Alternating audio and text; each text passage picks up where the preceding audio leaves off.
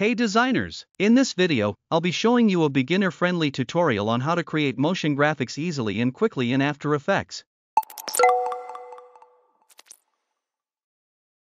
Start by creating a new composition. I'm using a 1920 by 1080 resolution for this project. Now let's import the background. These are the assets I'll be using in this tutorial, and I'll provide a download link in the description so you can practice along. Drag and drop the background layer onto the timeline.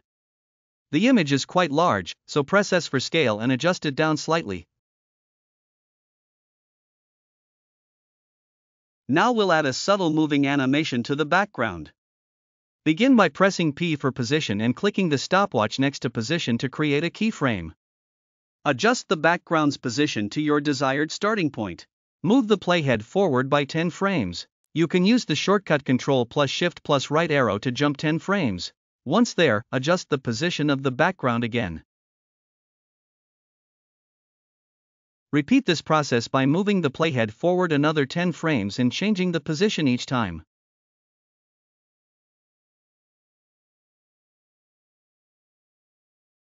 When you've created a few keyframes like this, move the playhead forward another 10 frames. Copy the first keyframe by selecting it and pressing Ctrl plus C, then paste it at this point using Ctrl plus V.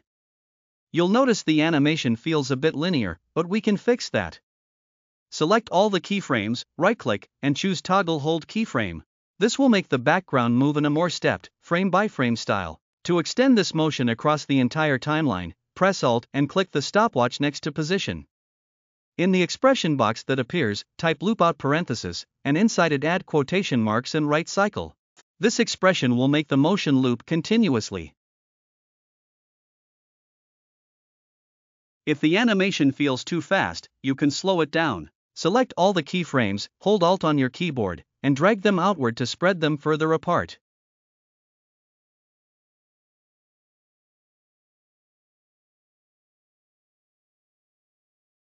Now that the background is ready, let's move on to the next part of the tutorial. Let's take the text tool and write the text onto the composition. After typing, adjust the paragraph spacing to ensure the text looks balanced.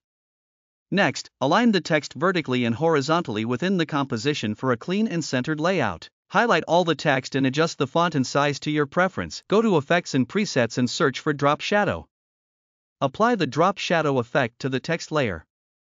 Increase the softness of the shadow to give it a subtle, polished look. To add animation, in the Effects and Presets panel, search for Center Spiral. Once you find it, apply it to the text layer. This is the center spiral animation, but let's customize it to suit our design better. Press U to reveal the keyframes for the animation. Select all the keyframes and, while holding Alt, move them closer together to speed up the animation. To synchronize the opacity change with the rotation, select the second opacity keyframe and move it slightly to the right. After previewing, it looks better now. Place the playhead at the 2 second mark, then trim the text layer by pressing Alt and the right square bracket key. This will crop the layer at this point. Next, let's create a new composition. For this composition, increase the width to create extra horizontal space. You'll understand the purpose of this shortly, so trust the process for now.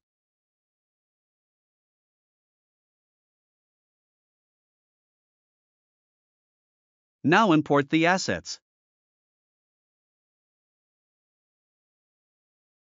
Select all the images and drag them onto the timeline. Arrange them by selecting the first image and moving it to the far left. Then move the last image to the far right. With all the images selected, use the Distribute Horizontally option in the Align panel to space them evenly. Align them vertically as well for a polished layout.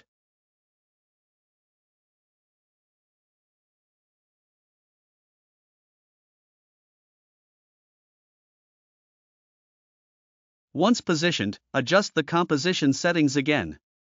Go to Composition, select Composition Settings, and change the width back to 1920 while keeping the height at 1080.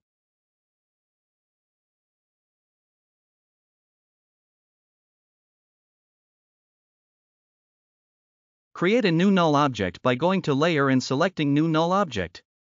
Parent all the image layers to this null object by selecting them, then pick whipping them to the null layer.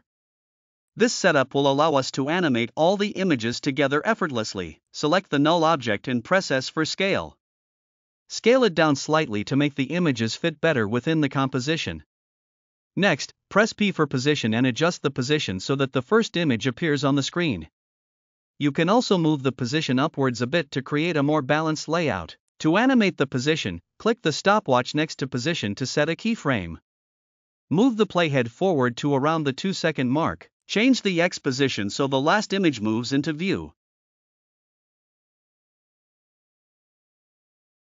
Once the keyframes are set, select both, press F9 to apply Easy Ease, and then open the graph editor.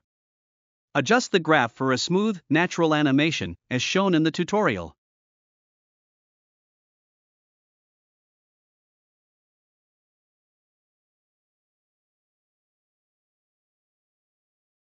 Return to the first composition and drag composition 2 onto the timeline. Place it at the point where the text animation ends for a seamless transition preview it to ensure it aligns correctly.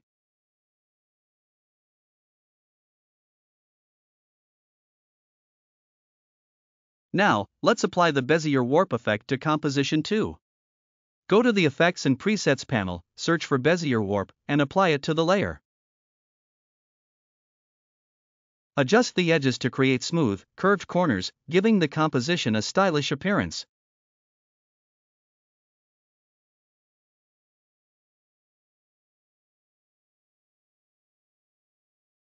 Move the layer slightly downwards if needed to position it perfectly. Preview the animation to check how it looks.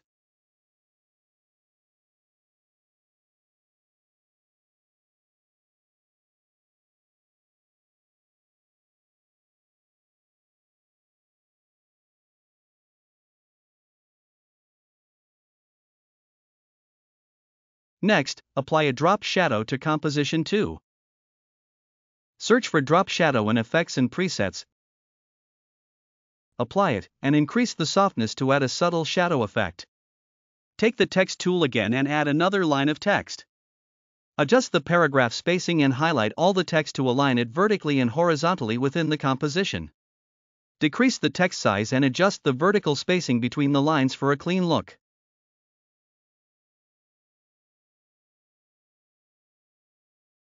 Reposition the text as needed and ensure it aligns well with the overall design. Offset the text layer slightly so it appears along with the images.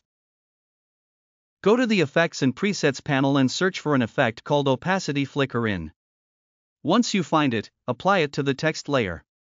Press U to reveal the keyframes created by the effect.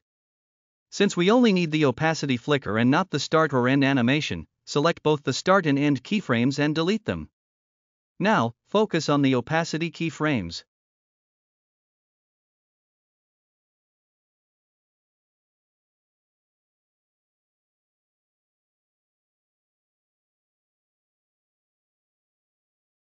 Preview the animation again, and it should look perfect now. At this point in the timeline, we want both composition 2 and the text layer to disappear. Select both layers, then trim them by pressing Alt and the right square bracket key to cut them at the current playhead position.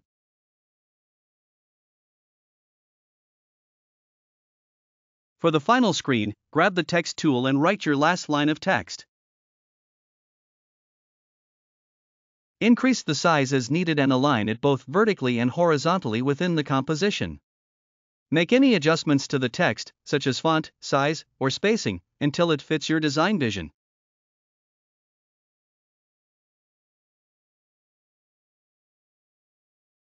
Next, apply an animation effect to the text. Search for typewriter in the Effects and Presets panel and drag it onto the text layer.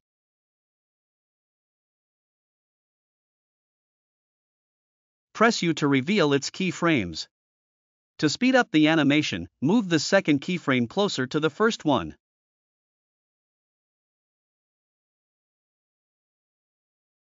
To give the final text a polished look, apply a drop shadow effect.